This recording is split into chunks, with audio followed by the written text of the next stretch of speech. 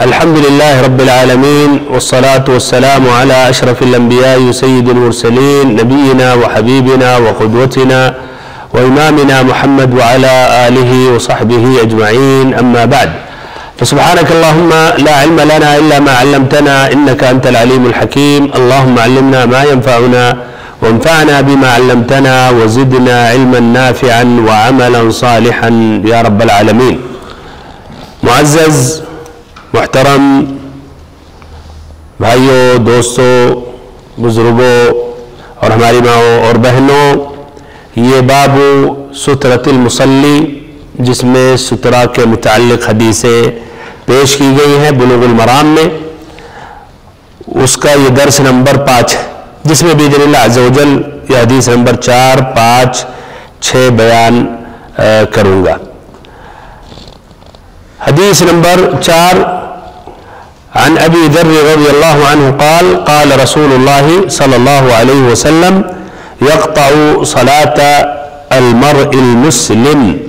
إذا لم يكن بين يديه مثل مؤخرة الرحل المرأة والحمار والكلب الأسود. الحديث وفيه الكلب الأسود شيطان أخرجه مسلم. پہلی حدیث أبو ذر عنہ اس حدیث کے راوی ہیں اور روایت جو کر رہے امام مسلم، وَلَهُ یعنی امام مسلم، ضمیر عائد ہے اقرب، مذکور، وَلَهُ یعنی امام مسلم سے مروی ہے۔ عن ابی حریرت رضی اللہ عنہ نحوه دون الكلب۔ تو مسلم کی دوسری روایت ہے ابو حریرہ رضی اللہ عنہ سے، جو سابقہ حدیث کی طرح ہے اور اس میں آتا ہے کہ دون الكلب. اس کی وضاحت کی جائے گی؟ اس سے واضح ہو رہا کہ الكلب کا ذکر نہیں ہوا جس طرح کی سابقہ حدیث میں المرأة والحمار والكلب الاسود آئے لیکن اس کی وضاحت کی جائے گی۔ پھر تیسری جو حدیث ہے حدیث نمبر 6 باب السترہ کا ولی ابی داود اول عن ابن عباس رضی اللہ عنہما نحوه دون آخره وقید المرأة بالحائض. نے لکھا ہے نص عبارت. اور ابن حجر رحمہ اللہ کا کلام اس طرح مکمل ہو گیا. اب ان تینوں حدیثوں کا ترجمہ پیش کر رہا ہوں. پہلی حدیث حضرت ابو ذر رضی اللہ عنہ سے مروی ہے کہ رسول اللہ صلی اللہ علیہ وسلم نے فرمایا مسلمان مرد کی نماز مسلمان مرد کی نماز کو عورت گدھا اور کالا کتا توڑ دیتے ہیں۔ کون کون سی چیزیں عورت گدھا اور کالا کتا توڑ دیتے ہیں۔ جبکہ اس کے آگے پالان کجاوا کے پچھلے حصے کے برابر سترا نہ ہو۔ یعنی حصہ اگر سترا اگر نہیں ہے تو۔ اور سترا کے درمیان بیچ میں آ گیا یہ تینوں چیزوں میں سے۔ یہ لمبی حدیث ہے، اس میں یہ الفاظ بھی مروی ہیں۔ حدیث لمبی مختصرا بیان کیا، پھر آخری اسی حدیث میں کیا آتا ہے؟ الکلب الاسود شیطان، کالا کتا شیطان ہوتا ہے۔ اسے مسلم نے روایت کیا ہے۔ دوسری حدیث، اور مسلم میں حضرت ابو حریرہ رضی اللہ عنہ کی روایت بھی اسی طرح ہے، مگر اس میں کتے کا ذکر نہیں ہے۔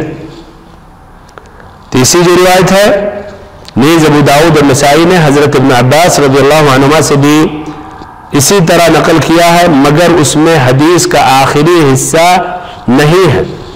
آخری حصہ کون سا آخری حصہ مراد کیا ہے؟ اس کی وضاحت ہوگی جب تخریج میں بیان کروں گا۔ مگر اس میں حدیث کا آخری حصہ نہیں ہے۔ آخری حصہ سے مراد یہ واضح کروں گا۔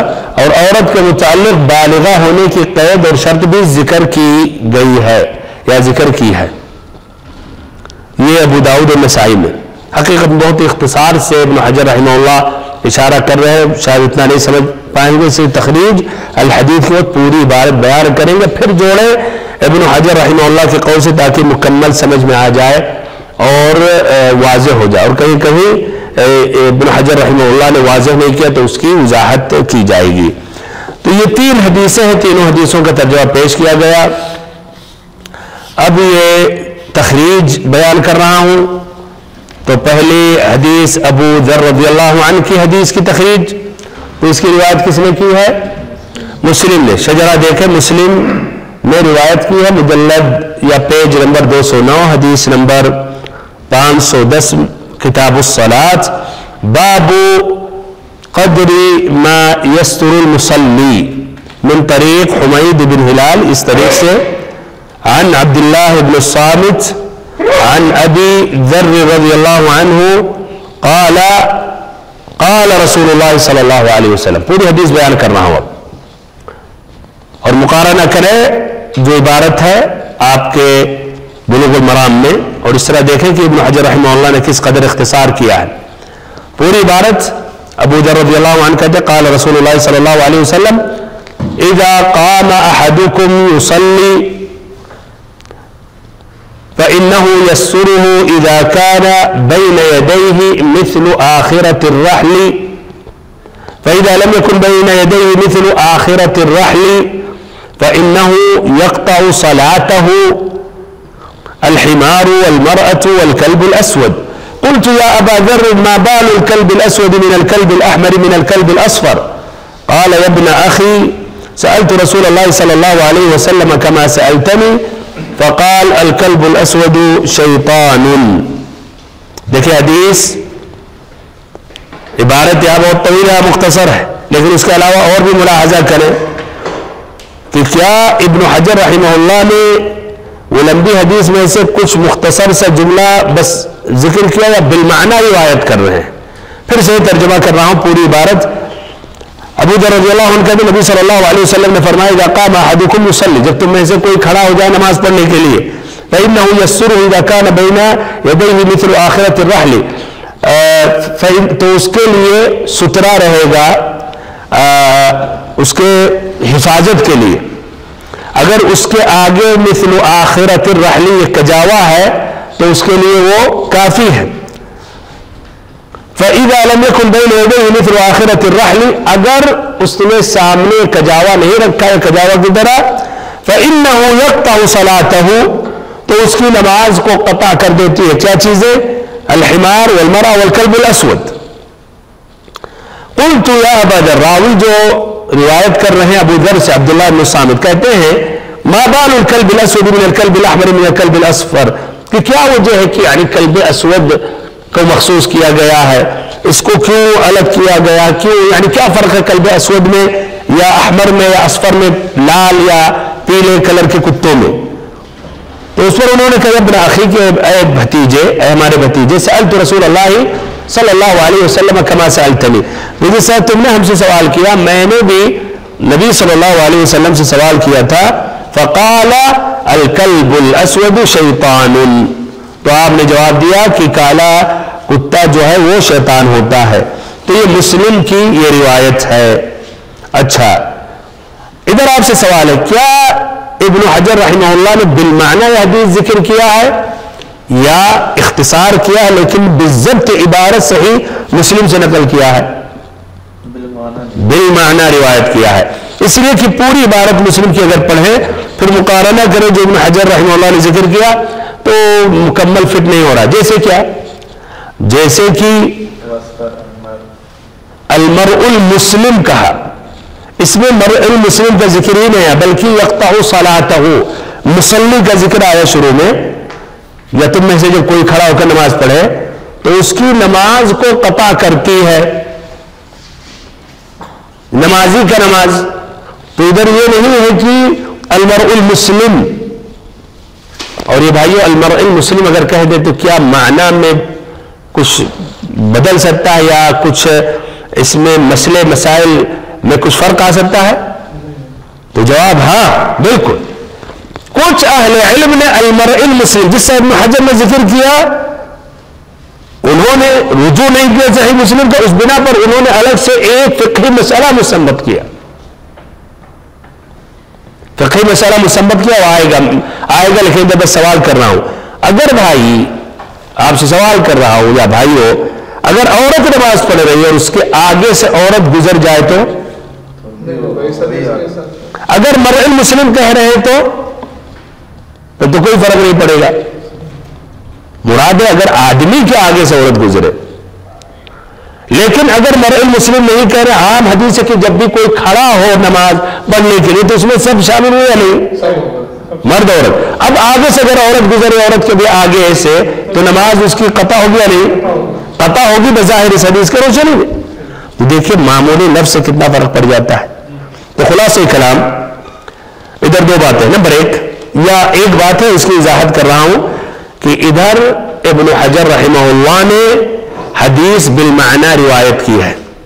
صحیح امام مسلم کی جو عبارت ہے، وہ عبارت کا صحیح لفظ کو انہوں نے اختصار سے نہیں بیان کیا، بلکہ انہوں نے بالمعنی بالمعنی کیا ہوتا ہے کہ اس کا مفہوم انہوں نے بیان کیا، مفہوم بیان کیا ہے اور اپنے الفاظ میں اس حدیث کی تعبیر کی ہے، جس کی وجہ سے ایک مسئلہ ادھر آ گیا کہ انہوں نے کہہ دیا یکتا صلاۃ المرء المسلم کی مسلمان مرد کی نماز کو قطع کرتی ہے، یہ تینوں چیزوں کا جو آیا۔ جبکہ اصل حدیث میں المرء المسلم نہیں ہے، مطلق ہے جب تم میں سے کوئی کھڑا ہو کر نماز پڑھے۔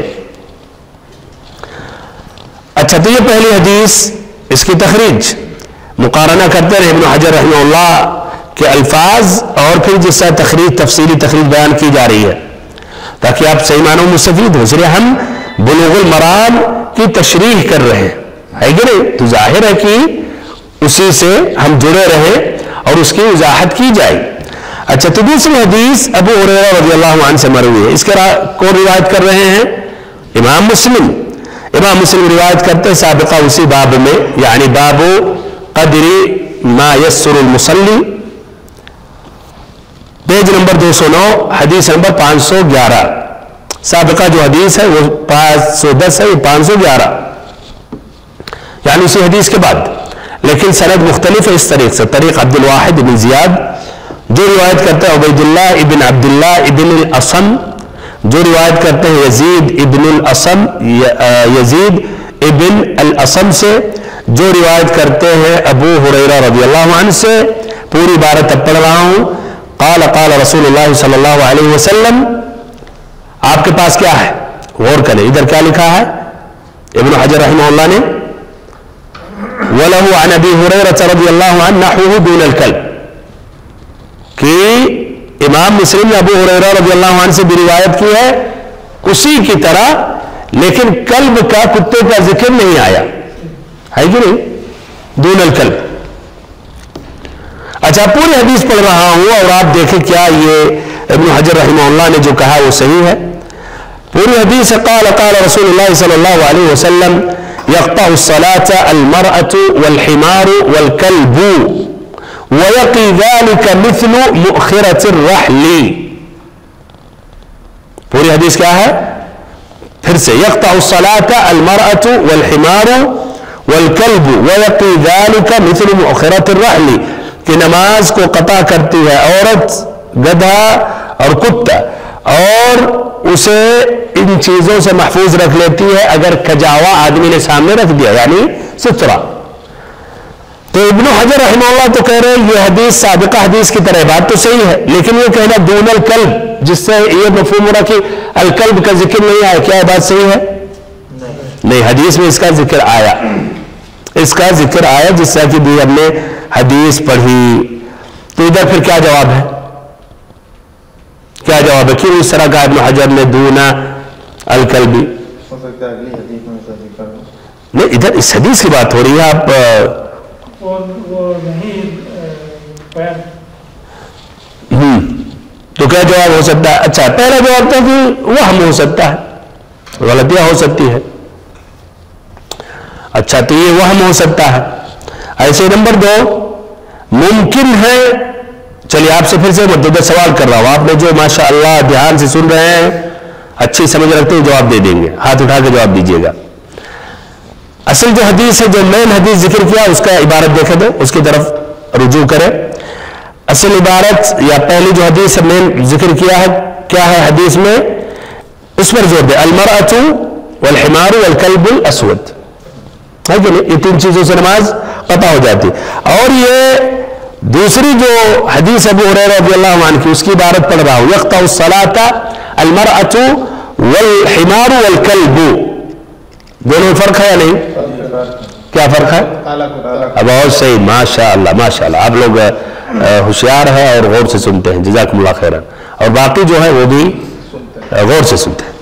اچھا تو یہ ہے، تو ممکن ہے کہنا چاہ رہے ابن حجر رحمہ اللہ دون وصف الکلب یعنی دوسری روایت میں سابقہ ہی روایت کی طرح ہے، لیکن اس میں الکلب کا وہ صفت نہیں بیان کی گئی ہے کہ الکلب الاسود یعنی الاسود کا ذکر نہیں آیا۔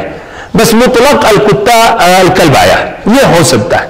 یہ بھائی اہل علم کے لیے تخریج کرتے ہیں یعنی ایک ان کا ایک عذر ان کی طرف سے پیش کرنا چاہتے ہیں، اس لیے ہر دم بس یہ تھوڑ کی غلطی ہو گئی، انہوں نے مخالفت کر دی، ایسا نہیں۔ تو ادھر دو جواب ہے اس کا کہ یا تو وہم ہو گیا، اس لیے حقیقت میں اس میں مسلم کا یا الکلب کا ذکر آیا، یا تو پھر ایسے ہی مراد ہے، دون وصف الکلب کہنا چاہ رہے ابن حجر یعنی کتے کی صفت نہیں بیان کی گئی ہے، اس لیے اس میں صرف القلب کا متلقا ذکر آیا ہے، القلب الاسود میں ذکر کیا گیا ہے۔ اچھا تیسری حدیث جو ہے ابن عباس رضی اللہ عنہما کی، اس کی روایت کس نے کی ہے؟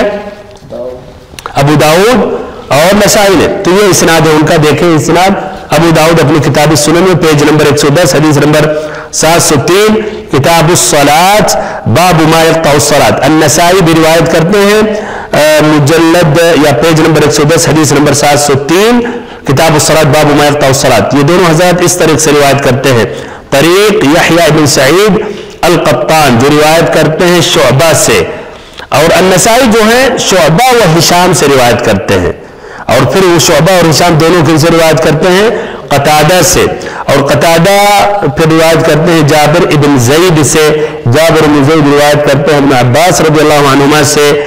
اور یہاں شعبہ نے مرفوعان بیان کیا۔ یعنی شعبہ نے کیا؟ مرفوعان بیان کیا۔ یعنی انہوں نے کہا قطادہ جابر بن زید ابن عباس نے قال النبی صلی اللہ علیہ وسلم يقطع الصلاة المرأة الح- المرأة الحائض والكلب يقطع صلاة المرأة الحائض والكلب. كيف ما ذكر آية إذا؟ دو هي آية كيف كان ذكر لي آية قدها قني آية اچھا. تو يقطع صلاة المرأة الحائض والكلب. بہر آلیہ بہت اختصار سے آگے بڑھ رہا ہوں. ادھر اختلاف ہے. شعبہ مرفوعا بیان کیا. کہ نبی صلی اللہ علیہ وسلم نے کہا، جبکہ قطادہ کے اور شاگردوں نے، جس میں تین ہیں، سعید ابن ابی عروبہ، ہشام ابن ابی عبداللہ الدستوائی اور ایسے ہما، ایسے حمام ابن یحییٰ، یہ تینوں نے جو روایت کی ہے، انہوں نے اس طرح روایت کی ہے۔ انہوں نے کہا، عن قطادہ اور قطادہ کے بعد پھر جابر ابن زید، پھر جابر ابن زید کے بعد ابن عباس نے کہا۔ یقطع صلاة المرأة الحائض والکلب تو ادھر بہرحال اختلاف ہے مرفوع اور موقوف میں۔ اب ادھر ہم آتے ہیں ابن حجر رحمہ اللہ کا کی عبارت میں۔ چلیے، عبارت پھر سے دیکھیں۔ کیا کہتے تھے اسی روایت کے بارے میں؟ ولی ابی داود اور نسائی عن ابن عباس رضی اللہ عنہما نحو دون آخری ہی دون آخری ہی سے مراد کیا ہے؟ ضمیر کس کی طرف عائد ہے؟ دون آخری ہی ضمیر اکرم مذکور کی طرف آتا ہے نا؟ تو اکرم مذکور کیا ہے؟ ابو حریرہ رضی اللہ عنہ کی حدیث. اور ان کی حدیث ہم نے پوری بیان کی، اس میں کیا ہے؟ یقطع الصلاة المرأة والحمار والکلب والکلب. الاسود کا ذکر نہیں آیا، پھر ایسے ہی کا ویقی ذالک مثل مؤخرة الرحل. وقی ذالک اگر کسی نے سترہ کا اہتمام کیا تو اس کی نماز محفوظ ہو جائے گی۔ تو ادھر ایک ممکن یہ ہے کہ کہنا چاہ رہے ہیں کہ دون آخری ہی یعنی اس میں وہ عبارت نہیں ہے۔ وَيَقِي ذَلِكَ مِثْلُ مُؤْخَرَةِ الرَّحْلِ۔ اور ممکن ہے کہ یہ ضمیر دون آخر ہی پہلی حدیث پر عائد ہے۔ اس لیے وہی مین اور وہی اصل ہے۔ تو اس طرح مراد کیا ہے کہ دون آخر ہی؟ یعنی کون سی چیز کا ذکر نہیں آیا؟ ہاں تو اس میں الکلب الاسود جو شیطان ہے، وہ نہیں آیا۔ اس کا ذکر نہیں آیا۔ یہ مراد ہے۔ بہرحال، یہ کچھ تفصیلی باتیں تھی تخریج کے متعلق۔ اگر سمجھ گئے تو الحمدللہ اور یقیناً آپ سمجھے ہوں گے۔ تو یہ ان کی باتوں کی توضیح تھی۔ ادھر کچھ باتوں کی وضاحت کرنا حقیقت میں ضرورت رہی۔ جیسے نحوہ اور ادھر نحوہ دونا الکلبی الاخری علم اب آگے بڑھتے ہیں اور ان الفاظ کی وضاحت کر رہے ہیں۔ تو پہلا لفظ، یقطع صلاة المرء المسلم۔ یقطع معنی ادھر کیا ہے؟ یقطع کا معنی قطع کرنا یہ لغوی معنی قطع. اب نماز میں ہمیں یہ دیکھنا ہوگا کہ ادھر کیا مراد ہے؟ اچھا کتنے احتمالات ہو سکتے ہیں یقطع الصلاة کا؟ نماز جانا کر جانا. جانا یعنی جائے دو ہو سکتا ہے بس۔ اب آپ جتنا بھی کہیں مترادف و بات دو ہی ہے خلاصہ یعنی دو معنی ہو سکتا ہے کہ نماز ختم ہو جانا۔ یہ احتمال اور دوسرا اور بھی ہو سکتا کیا؟ کمی ہو جانا۔ کمی ہو جانا دو کا احتمال ہے۔ اس کے علاوہ تیسرا، جو بھی آپ کہیں گے، دونوں عبارت ہی کے تحت ہے۔ خراب ہو جانا، باطل ہو جانا، وہی پہلا ہی ہے۔ ختم ہو جانا، باطل ہو جانا، فاسد ہو جانا۔ ٹوٹ جانا، بہت سے، سب ایک ہی معنی اور دوسرا کہ نماز میں خلل، کمی، آ جانا۔ ممکن ہے دوسرا۔ اقرب تو پہلے ہی معنی ہے۔ اقرب تو یہی ہے، ظاہری لفظ یقطع الصلاۃ۔ بہرحال اس کی وضاحت انشاءاللہ فقہ الحدیث میں کی جائے گی اور پھر اہل علم نے کس طرح اس کو سمجھا ہے، اس کی وضاحت کی جائے گی۔ لیکن یہاں یہ ذکر کر رہا ہوں کہ یقطع کا لفظ جو ہے، اس سے دو معنی ہو سکتے ہیں۔ پہلا معنی کہ نماز فاسد ہو جانا، باطل ہو جانا، ٹوٹ جانا، نمبر دو کہ ثواب میں کمی آ جانا، نماز میں خلل آ جانا۔ يقطع صلاة المرء المسلم إذا لم يكن بين يديه مثل مؤخرة الرحل مؤخرة الرحل اس کا یہ ذکر کیا گیا۔ نبی صلی اللہ علیہ وسلم سے غزوہ تبوک میں پوچھا گیا، سترہ کے بارے میں تو آپ نے کیا کہا؟ مثل مؤخرة الرحل۔ مؤخرة الرحل کے بارے میں بتایا گیا کہ کجاوا جو یہ رکھا جاتا اونٹ کے اوپر بیٹھنے کے لیے، پیچھے جو لکڑی ہوتی ہے ہاں اس کا دکھا دیں۔ وہ لکڑی جو ہوتی ہے، اس کو کہتے ہیں مؤخرت الرحلی، تو مراد ہے کہ یعنی اتنا ہونا چاہیے، یہ تقریب ہے اور تحدید نہیں، اس سے بڑا ہو تو اور بہتر ہے۔ اور بلکہ اور حدیثوں میں ہے کہ اس سے اگر کوئی چھوٹی چیز ہے تو اس سے بھی کام چل جائے گا۔ یکتا یہ ہے، یہ لکڑی جو پیچھے ہے۔ یکتا صلاة المرء المسلم المرأة المراتوك كيا إعرابها يقطع صلاة المرء المسلم إذا لم يكن بين يديه مثل مؤخرة الرحل. المرأة كإعراب إعراب إعراب أردو لغة من نحومة. ها. المرأة تلي أسار كراو كاي مبتدأ هي فعل هي فاعل هي مفعول. يا خبر. يقطع فعل آ گیا تو ایک تو فعل ہے تو اس کا اب ہمیں فاعل ڈھونڈنا ہوگا تو فاعل کیا ہے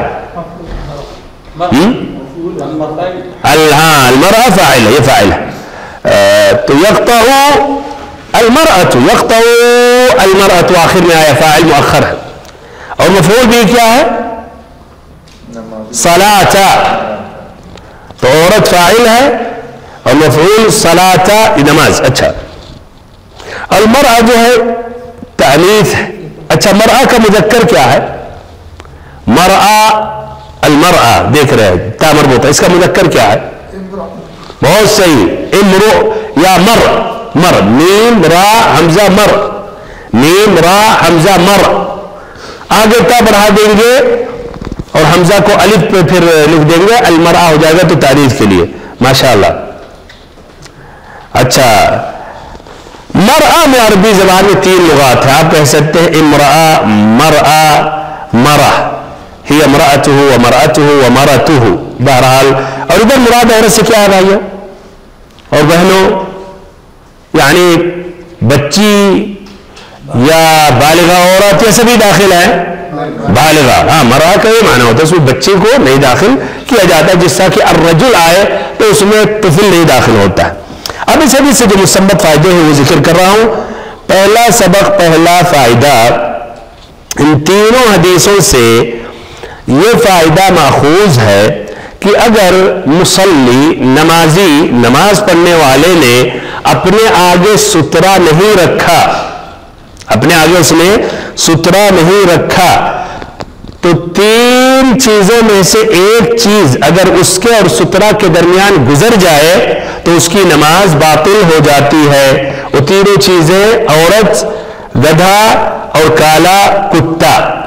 لیکن اگر وہ سترا رکھ رہا ہے اور پھر سترا کے بعد یہ تینوں چیزوں میں سے کوئی چیز گزرے تو نماز میں کوئی خلل ہونے والا نہیں اور نماز میں کوئی نقصان ہونے والا نہیں۔ تو یہ پہلا فائدہ، پہلا سبق۔ یہی میں نے اس کو اچھی طرح سمجھ جائے تاکہ بعد میں پھر جو اور اس میں اختلاف ہے سمجھنے میں آسانی ہو۔ پہلے یہ اچھی طرح سمجھ جائے، حدیث کے یہ منطوق ہیں اور واضح جو اس سے ظاہر ہو رہا ہے کہ اگر آدمی نے سترا نہیں رکھا اور اس کے اور سترا کے درمیان ان تینوں چیزوں میں سے کوئی ایک چیز گزری تو اس کی نماز باطل ہو جاتی ہے۔ اور اگر اس کا پھر مفہوم کیا ہوا کہ اگر سترا رکھا اور سترے کے بعد ان تینوں چیزوں میں سے کوئی چیز گزری تو اس کی نماز میں کوئی خلل نہیں ہے۔ اب ادھر سوال ہے قطع اس نماز اس کی لفظی لفظ ہے قطع نماز اس کی مقطوع ہو جاتی ہے یا کٹ جاتی ہے۔